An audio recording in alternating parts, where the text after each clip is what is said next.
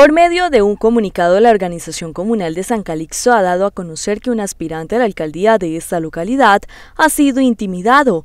Ante esto, las autoridades adelantan las investigaciones pertinentes. En ese momento estamos esperando ya ampliar la, la denuncia Aparte de ello, tenemos que ya es material de investigación por parte de la Unidad Judicial de la SIGIN para esclarecer la veracidad del documento y de esta misma pues, manera poder solicitar las garantías que se requieren.